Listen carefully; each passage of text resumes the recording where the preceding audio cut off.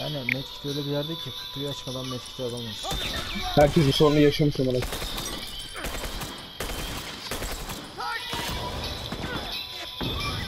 down. Hepsi orada. Birleştiriyor. Aldım bunu.